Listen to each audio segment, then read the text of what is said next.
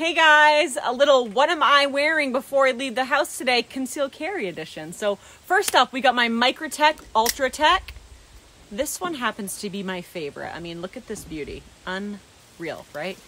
Love it. Obsessed with it. Can't get enough of anything Microtech. And I got my trusty Glock 43X on today. I actually have leggings on and my monoblock here is sturdy enough to take the heat. I will show you a practice little pull out of the holster right now because, right? Completely fine, guys. So I hope you guys are having a great rest of your day and carry on.